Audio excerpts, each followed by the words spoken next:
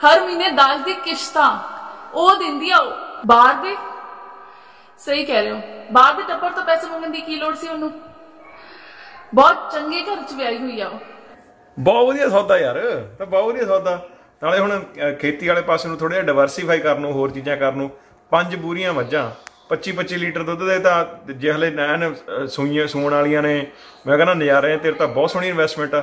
5 ਲੱਖ ਲਾ ਕੇ ਸਾਰੀ ਉਮਰ ਤੈਨੂੰ 50 ਲੱਖ ਦੀ ਉਹਨਾਂ ਨੇ ਕਮਾਈ ਦੇ ਦੇਣੀ ਆ ਗੁੱਡ ਸੌਦਾ। ਵੈਰੀ ਨਾਈਸ ਸੌਦਾ। ਚਲ ਓਕੇ ਫਿਰ ਕਰਦੇ ਗੱਲ। ਵਧੀਆ ਸੌਦਾ ਮਾਰ ਗਿਆ। ਇਹ ਕਿਹਦੇ ਨਾਲ ਗੱਲ ਕਰਦੇ ਸੀ ਤੁਸੀਂ? ਉਹ ਕੁਛ ਨਹੀਂ ਮੇਸ਼ੀ ਸੀ ਪਿੰਡ ਵਾਲਾ। ਉਹਨੇ ਪੰਜ ਮੱਝਾਂ ਲਈਆਂ ਨੇ ਬੂਰੀਆਂ 5 ਲੱਖ ਦੀਆਂ। ਤੇ ਉਹਨਾਂ ਨੇ ਦੁੱਧ ਸਾਰੀ ਉਮਰ ਉਹਨੂੰ ਡੇਅਰੀ 'ਚ ਪਤਾ ਕਿੰਨਾ ਦੇਣਾ? ਆਲਮੋਸਟ 50 ਲੱਖ ਦਾ। ਸੋ 5 ਲੱਖ ਲਾ ਕੇ 50 ਲੱਖ ਦਾ ਉਹਨੇ ਬਿਜ਼ਨਸ ਆਈਡੀਆ ਬਣਾਇਆ। ਵਧੀਆ। ਵਾਹ। ਹਾਂ। ਬਾੜੀ ਸਿਆਣੀ ਗੱਲ ਕੀਤੀ ਉਹਨਾਂ ਨੇ ਤਾਂ ਬਹੁਤ ਵਧੀਆ ਬਿਜ਼ਨਸ ਪਲਾਨ ਆ। ਹੋਰ ਬਹੁਤ ਵਧੀਆ ਬਿਜ਼ਨਸ ਪਲਾਨ ਆ ਸਿਰੇ ਦਾ। ਸਹੀ ਗੱਲ ਆ। ਉਹ ਫੋਨ ਆਉਂਦਾ ਮੈਨੂੰ ਸੁੱਪੂ ਦਾ। ਇੱਕ ਮਿੰਟ ਹਾਂ। ਹਾਂ। Hello hi Suppu. ਹਾਂ ਹਾਂ ਮੈਂ ਠੀਕ ਆ। ਤੂੰ ਸੁਣਾ ਬੜੀ ਘਬਰਾਈ ਹੀ ਲੱਗਦੀ ਆ। ਹਾਂ ਹਾਂ ਅਮਨ ਇੱਥੇ ਹੀ ਨੇ ਮੇਰੇ ਨਾਲ। ਕੀ ਹੋਇਆ?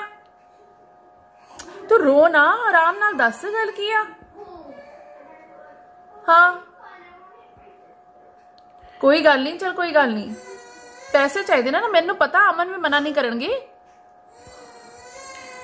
ਕੋਈ ਗੱਲ ਨਹੀਂ ਤੈਨੂੰ ਜਿੰਨੇ ਪੈਸੇ ਚਾਹੀਦੇ ਆ ਤੂੰ ਮੈਨੂੰ ਮੈਸੇਜ ਕਰਕੇ ਦੱਸ ਦੇ ਮੈਨੂੰ ਬੈਂਕ ਅਕਾਊਂਟ ਵਿੱਚ ਭੇਜ ਦੇ ਅਸੀਂ ਭੇਜ ਦਿੰਨੇ ਆ ਕੀ ਹੋ ਗਿਆ? ਸੁੱਪੂ ਨੂੰ ਕਾਤੇ ਪੈਸੇ ਚਾਹੀਦੇ ਨੇ?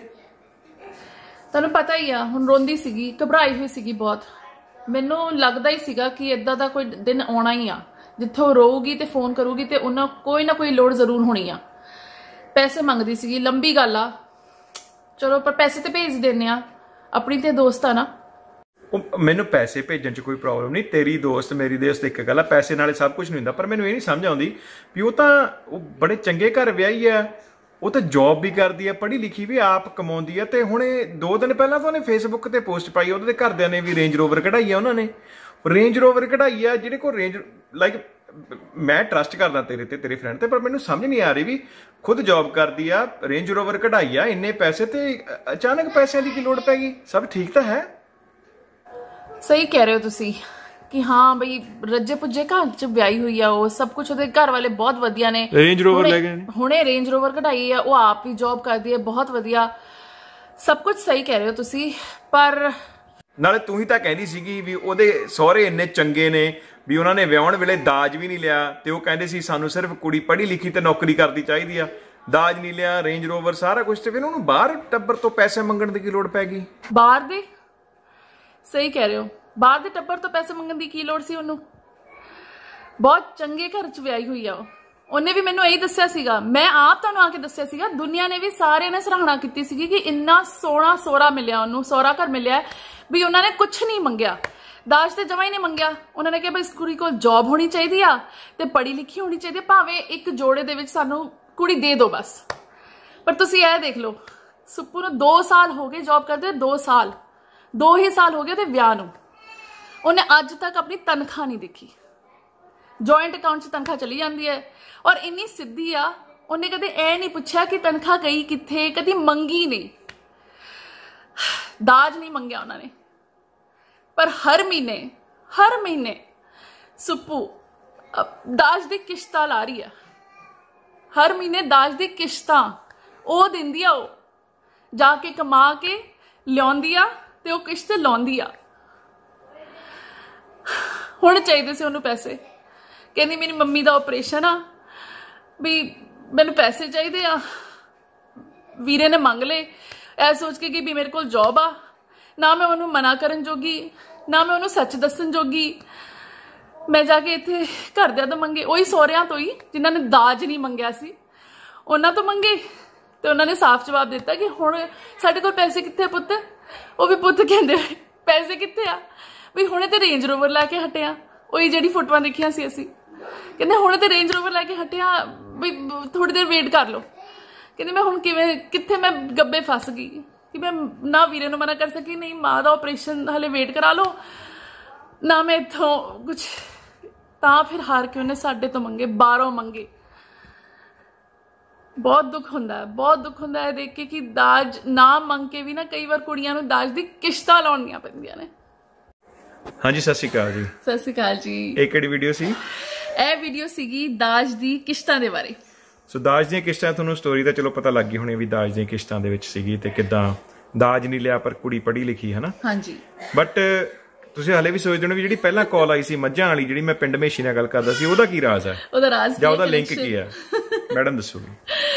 ਉਹਦਾ ਲਿੰਕ ਇਹ ਆ ਕਿ ਜਦ ਆਪਾਂ ਮੱਝਾਂ ਲੈ ਕੇ ਆਉਂਦੇ ਆ ਜਾਂ ਮੇਸ਼ੀ ਮੱਝਾਂ ਲੈ ਕੇ ਆਉਂਦਾ ਆ ਉਹ ਇਨਵੈਸਟਮੈਂਟ ਤਾਂ ਛੋਟੀ ਜੀ ਕਰਦੇ ਨੇ ਪੰਜ ਹੈਨਾ? ਲੱਖ ਦੇ ਪੰਜ ਬਦਲੇ- ਲੱਖ ਦੀ ਪੰਜ ਲਿੱਤੀਆਂ ਸੀਗੀਆਂ ਹੈਨਾ? ਬਈ ਲੱਖ ਦੀ ਇੱਕ ਪਰ ਉਹਨੇ ਪੂਰੀ ਉਮਰ ਉਹ ਮੇਸ਼ੀ ਨੂੰ ਦੁੱਧ ਕੱਢ ਕੇ ਮਤਲਬ ਕਮਾਊ ਕਮਾਈ ਕਰਕੇ ਕਮਾਈ ਕਰਕੇ ਉਹਨੇ ਦੇਣੀ ਸੀਗੀ। ਮਤਲਬ ਜਿੰਨੇ ਦੀ ਉਹ ਆਪ ਨਹੀਂ ਸੀਗੀ ਉਹਨੇ ਉਹ ਤੋਂ ਜ਼ਿਆਦਾ ਕਮਾਈ। ਕਰਕੇ 10 ਗੁਣਾ ਕਮਾਈ ਕਰਕੇ ਬਾਅਦ ਚ ਦੇਣੀ ਸੀਗੀ। ਮੇਸ਼ੀ ਨੂੰ ਪੂਰੀ ਉਮਰ। ਤੇ ਇਹਦਾ ਲਿੰਕ ਹੁਣ ਸਾਡੀ ਦੂਜੀ ਵਾਲੇ ਪਾਰਟ ਦੇ ਨਾਲ ਸਾਫ਼ ਤੁਹਾਨੂੰ ਲੱਗਣਾ ਲੱਗਣ ਲੱਗ ਜਾਣਾ ਚਾਹੀਦਾ ਹੈ ਕਿ ਅਸੀਂ ਕੀ ਗੱਲ ਕਰਨਾ ਚਾਹੁੰਦੇ ਹਾਂ। ਇਸੇ ਤਰ੍ਹਾਂ ਕੁੜੀ ਨੂੰ ਕਹਿ ਦਿੰਦੇ ਨੇ ਵੀ ਅਸੀਂ ਦਾਜ ਨਹੀਂ ਲੈਣਾ। ਹਾਂਜੀ। ਵੀ ਲੋਕਾਂ ਨੂੰ ਲੱਗਦਾ ਬਹੁਤ ਵਧੀਆ ਸੌਦਾ ਹੋ ਗਿਆ। ਬਟ ਇਹ ਨਹੀਂ ਦੇਖਦੇ ਵੀ ਸਾਰੀ ਉਮਰ ਜੇ ਉਹਦੀ ਤਨਖਾਹ ਤੁਸੀਂ ਆਪਣੇ ਕੋਲ ਰੱਖਣੀ ਆ ਉਹਨੂੰ ਫ੍ਰੀडम ਨਹੀਂ ਦੇਣੀ ਕੰਟਰੋਲ ਕਰਨੀ ਆ 10-10 ਰੁਪਏ 20-20 ਰੁਪਏ ਦਾ ਮੁਹਤਾਜ ਰੱਖਣਾ ਆ। ਹਾਂਜੀ। ਤਾਂ ਫਿਰ ਉਹ ਖੁਰਲੀ ਨਾਲ ਵੱਜੀ ਜਿਹੜੀ ਮੱਝ ਆ ਉਹਦੇ ਤੋਂ ਚੰਗੀ ਜ਼ਿੰਦਗੀ ਨਹੀਂ ਹੋਊਗੀ। ਹਾਂ ਕਮਾਈ ਜ਼ਰੂਰ ਕਰ ਰਹੀ ਆ ਜਿਹੜੇ ਮਾਲਕ ਆ ਉਹਦੇ ਘਰ ਦਾ ਜਿਹਦੇ ਨਵੇਂ ਘਰੇ ਆ ਗਈ ਉਹ। ਇਸ ਤਰ੍ਹਾਂ ਸਹੁਰੇ ਘਰੇ ਬਟ ਉਹ ਮੱਝ ਵਿਚਾਰੀ ਖੁਰਲੀ ਤੇ ਜੰਮੀ ਆ ਤੇ ਤੇ ਇੱਥੇ ਮੈਂ ਇੱਕ ਚੀਜ਼ ਹੋਰ ਐਡ ਕਰਨਾ ਚਾਹੂੰਗੀ ਤੁਹਾਡੇ ਐਗਜ਼ਾਮਪਲ ਤੋਂ, ਕਿ ਮਤਲਬ ਜਿਵੇਂ ਆਪਾਂ, ਜੇ ਮੱਝ ਨੂੰ ਦੇਖੀਏ, ਹੈਨਾ, ਇੱਥੇ ਜੇ ਮੱਝ ਦਾ ਐਗਜ਼ਾਮਪਲ ਆਪਾਂ ਕੁੜੀ ਤੇ ਲਾ ਕੇ ਦੇਖੀਏ, ਮਤਲਬ ਇਹ ਗੱਲ ਹੋ ਗਈ ਕਿ ਅਸੀਂ ਐਕਸਪੈਕਟ ਕਰਦੇ ਹਾਂ ਕਿ ਮੱਝ ਆਪਣਾ ਸਾਰਾ ਕੰਮ ਵੀ ਕਰੇ ਤੇ ਦੁੱਧ ਵੀ ਦੇਵੇ ਤੇ ਉਹ ਦੁੱਧ ਮਤਲਬ ਆਪਣੇ ਬੱਚੇ ਨੂੰ ਵੀ ਨਾ ਪਿਲਾਵੇ ਉਹ ਦੁੱਧ ਵੀ ਸਾਨੂੰ ਦੇਵੇ ਤਾਂ ਕਿ ਅਸੀਂ ਜਾ ਕੇ ਬਾਹਰ ਵੇਚ ਕੇ ਆਈਏ। ਉਹ ਕਮਾਈ ਮਤਲਬ ਉਹਦੇ ਤੋਂ ਕਮਾਈ ਕਰੀਏ ਅਸੀਂ। ਗੋਹਾ ਕੂੜਾ ਵੀ ਮੱਝ ਆਪ ਗੋਹਾ। ਕੂੜਾ ਵੀ ਆਪਣਾ ਆਪਣੇ ਆਪ ਤੁਹਾਡੇ ਚੱਕੇ, ਘਰਦਿਆਂ ਦਾ ਵੀ ਕਰੇ। ਘਰਦਿਆਂ ਵੀ ਚੱਕੀਏ ਸਾਰਾ ਕੁਝ ਮਤਲਬ ਇਹ ਵੀ ਆਪਣੇ ਪੱਠੇ ਵੀ ਵੱਡੇ ਤੇ ਤੁਹਾਡੇ ਘਰਦਿਆਂ ਦੇ ਪੱਠੇ ਵੱਡੇ ਬਾਕੀ ਮੱਝਾਂ ਸਾਰਾ ਦੇ ਕੁਝ ਵੱਡੇ। ਕਰ। ਜਦ ਕਿ ਮੱਝ ਐਸਾ ਕੁਝ ਕਿੱਥੇ ਕਰਦੀ ਹੈ? ਨਹੀਂ ਕਰਦੀ। ਮੇਰੇ ਕੁੜੀ ਨਾਲ ਤਾਂ ਮੱਝ ਚੰਗੀ ਆ ਸਹੀ ਗੱਲ ਆ। ਉਹ ਕੁੜੀ ਦੀ ਤੇ ਜ਼ਿੰਦਗੀ ਫਿਰ ਉਹ ਮੱਝ ਤੋਂ ਵੀ ਮਾੜੀ ਹੋ ਗਈ ਨਾ। ਸੌਰੀ ਜੇ ਕਿਸੇ ਨੂੰ ਅਫੈਂਸ ਲੱਗ ਰਹੀ ਹੈ ਬਟ ਜਿਹੜੇ ਸਾਨੂੰ ਇਹ ਟੌਪਿਕ ਆਇਆ ਸੀਗਾ ਇਨਬਾਕਸ ਦੇ ਵਿੱਚ ਉਹ ਕਿਸੇ ਨਾਲ ਇਦਾਂ ਹੋ ਰਿਹਾ ਹੈ। ਹਾਂਜੀ। ਉਹ ਪੜ੍ਹੇ ਲਿਖੇ ਨੇ ਸੋ ਕਾਲਡ ਬੜੇ ਰਿਪਿਊਟਡ ਘਰ ਦੇ ਵਿੱਚ ਨੇ। ਹਾਂਜੀ। ਔਰ ਇੱਕ ਤੇ ਪਰ ਉਹਨਾਂ ਨੇ 2 ਸਾਲ ਹੋ ਗਏ ਅੱਜ ਤੱਕ ਆਪਣੀ ਤਨਖਾਹ ਦਾ ਇੱਕ ਨਵਾਂ ਪੈਸਾ ਨਹੀਂ ਦੇਖਿਆ। ਤੇ ਰੀਸੈਂਟਲੀ ਉਹਨਾਂ ਨੂੰ ਲੋੜ ਪਈ ਸੀ ਤੇ ਉਹਨਾਂ ਨੇ ਕਿਸੇ ਫਰੈਂਡ ਤੋਂ ਮੰਗੇ ਫਰੈਂਡ ਨੇ ਦੇਤੇ ਬਟ ਉਹ ਹੁਣ ਇਸ ਦਲਦਲ ਦੇ ਵਿੱਚੋਂ ਉਹਨੂੰ ਫੇਸ ਕਰ ਰਹੇ ਨੇ। ਸਹੀ ਗੱਲ। ਔਰ ਉਹਨਾਂ ਨੇ ਸੌਰੀ ਮੈਂ ਤੁਹਾਨੂੰ ਵਿੱਚ ਕੱਟੂੰਗੀ। ਔਰ ਉਹਨਾਂ ਨੇ ਇਹ ਵੀ ਜ਼ਰੂਰ ਸਾਨੂੰ ਮੈਸੇਜ ਕੀਤਾ ਸੀਗਾ ਕਿ ਵੀ ਮੈਨੂੰ 2 ਸਾਲ ਜਿਹੜਾ ਮੈਂ ਕੀਤਾ ਵੀ ਵਿੱਚ ਮੈਨੂੰ ਉਹਦਾ ਅਫਸੋਸ ਉਸ ਟਾਈਮ ਤੇ ਕਦੇ ਨਹੀਂ ਹੋਇਆ ਕਿ ਵੀ ਮੈਂ ਕਦੇ ਮੰਗਿਆ ਨਹੀਂ ਹੈ ਕੁਛ ਜਦੋਂ ਮੈਨੂੰ ਪਰ ਲੋੜ ਜਦ ਮੈਨੂੰ ਲੋੜ ਪਈ ਮੇਰੀ ਮਾਂ ਨੂੰ ਲੋੜ ਪਈ। ਮੇਰੀ ਮਾਂ ਨੂੰ ਲੋੜ ਪਈ। ਮੇਰੇ ਕੋਲ ਹੈ ਨਹੀਂ ਸੀ। ਮੇਰੇ ਕੋਲ ਹੈ ਨਹੀਂ ਸੀ ਮੈਂ ਮੈਨੂੰ- ਪੁੱਛਿਆ ਵੀ ਕਿੱਥੇ ਗਏ। ਹਾਂ ਮੈਨੂੰ ਹੱਥ ਫੈਲਾਣੇ ਪਏ। ਆਪਣੇ ਹੀ ਉਹ ਘਰ ਦੇ ਅੱਗੇ। ਤਾਂ ਫਿਰ ਮੈਨੂੰ ਮਤਲਬ ਅਸਲੀਅਤ ਪਤਾ ਲੱਗੀ। ਵੀ ਹਾੜੇ ਹਾੜੇ ਮੈਨੂੰ ਦੁੱਧ ਦੇ ਦਿਓ ਥੋੜਾ ਜਿਹਾ ਮੈਂ ਆਪਣੇ ਜਵਾਕਾਂ ਨੂੰ ਪਲਾਉਣਾ। ਹਾਂਜੀ। ਇਸ ਤੋਂ ਪਹਿਲਾਂ ਕਿ ਕਈ ਮੇਰੇ ਬੁੱਧੀਜੀਵੀ ਫਰੈਂਡਸ ਕਮੈਂਟਸ ਕਰ ਵੀ ਤੁਸੀਂ ਇੱਕ ਕੁੜੀ ਨੂੰ ਮੱਝ ਨਾਲ ਕੰਪੇਅਰ ਕੀਤਾ ਸੀ। ਪਹਿਲਾਂ ਅੱਜ ਤੋਂ 2-3 ਸਾਲ ਪਹਿਲਾਂ ਇੱਕ ਦਾਜ ਤੇ ਜ਼ਮੀਨ ਦੇ ਨਾਲ ਕੰਪੇਅਰ ਕੀਤੀ ਵੀਡੀਓ ਪਾਈ ਸੀ। ਉਹਦੇ ਵਿੱਚ ਲੋਕਾਂ ਨੇ ਮੈਸੇਜ ਨਹੀਂ ਸੁਣਿਆ। ਇਹ ਤੇ ਬਹੁਤ ਗੁੱਸਾ ਕਰ ਗਏ ਵੀ ਕੁੜੀ ਨੂੰ ਜ਼ਮੀਨ ਖਰੀਦਣ ਵੇਚਣ ਨਾਲ ਕੰਪੇਅਰ ਕਰਤਾ। ਪਰ ਜਿਨ੍ਹਾਂ ਨੂੰ ਮੈਸੇਜ ਸਮਝ ਲੱਗ ਗਈ ਸੀ ਉਹਨਾਂ ਨੇ ਬਹੁਤ ਸਲਾਇਆ ਸੋ ਇਹਦੇ ਵਿੱਚ ਮੱਝ ਨੂੰ ਤੇ ਕੁੜੀ ਨੂੰ ਕੰਪੇਅਰ ਨਹੀਂ ਕੀਤਾ। ਦੋ ਸੈਪਰੇਟ ਐਗਜ਼ਾਮਪਲਸ ਨੇ ਪਰ ਇਹ ਦਿਖਾਉਣ ਦੀ ਕੋਸ਼ਿਸ਼ ਕੀਤੀ ਹੈ ਵੀ ਕਈ ਵਾਰੀ ਜਿਹੜੀ ਮੱਝ ਪਰਪਸ ਲਈ ਲਿਆਈ ਜਾਂਦੀ ਹੈ ਕਮਾਈ ਕਰਨੀ ਉਹਦੀ ਜ਼ਿੰਦਗੀ ਵੀ ਬਿਹਤਰ ਆ। ਸੋਚ ਕੇ ਦੇਖੋ। ਹਾਂਜੀ। ਇਹ ਕਹਿਣ ਦੀ ਕੋਸ਼ਿਸ਼ ਕੀਤੀ ਆ ਨਾ ਕਿ ਕੁੜੀ ਨੂੰ ਮੱਝ ਬਣਾਇਆ ਜਾਂ ਮੱਝ ਨੂੰ ਕੁੜੀ ਬਣਾਇਆ। ਤੇ ਦੂਸਰੀ ਗੱਲ ਕਿਸ਼ਤਾਂ ਵਾਲਾ ਦਾਜ ਬਹੁਤ ਮਾੜਾ ਦਾਜ ਬਹੁਤ ਮਾੜਾ। ਨੋ ਦਾਜ ਤੇ ਨੋ ਦਾਜ ਦੇ ਭਲੇਖੇ ਵਿੱਚ ਕਿਸ਼ਤਾਂ ਵਾਲਾ ਦਾਜ ਸੁਪਰ ਸੁਪਰ ਬੈਡ ਇਸ ਤਰ੍ਹਾਂ ਦਾ। ਸੋ ਗੋਡ ਬlesਸ ਯੂ ਇਹੀ ਸਾਡਾ ਸੁਨੇਹਾ। ਸੋ ਜੇ ਤੁਹਾਨੂੰ ਕਿਸ਼ਤਾਂ ਵਾਲਾ ਦਾਜ ਸਾਡਾ ਇਹ ਕਿੱਸਾ ਸੇਧ ਦੇਣ ਵਾਲਾ ਲੱਗਿਆ। ਤਾਂ ਤੁਹਾਡੇ ਆਲੇ ਦੁਆਲੇ ਸਰਕਲ ਦੇ ਵਿੱਚ ਕੋਈ ਭੈਣ ਕੋਈ ਟੱਬਰ ਇਦਾਂ ਦਾ ਹੈਗਾ ਉਹਨਾਂ ਨੂੰ ਅੱਖਾਂ ਖੋਲਣ ਦੀ ਲੋੜ ਆ ਤਾਂ ਜ਼ਰੂਰ ਸਾਡਾ ਸੁਨੇਹਾ ਪਹੁੰਚਾਇਓ। ਚੜ੍ਹਦੀ ਕਲਾ ਦੇ ਵਿੱਚ ਕਿਸਾਨਾਂ ਦੇ ਨਾਲ ਕਿਸਾਨ ਮਜ਼ਦੂਰ ਏਕਤਾ ਜ਼ਿੰਦਾਬਾਦ ਸਾਡੇ ਖਿਆਲਾਂ ਦੇ ਵਿੱਚ ਨੇ ਹਰੇਕ ਵੀਡੀਓ ਦੇ ਵਿੱਚ ਸਾਡੇ ਖਿਆਲਾਂ ਦੇ ਵਿੱਚ ਨੇ। ਤੇ ਗੋਡ ਬlesਸ ਯੂ ਆਲ ਹਾਂਜੀ ਗੋਡ ਬlesਸ। You all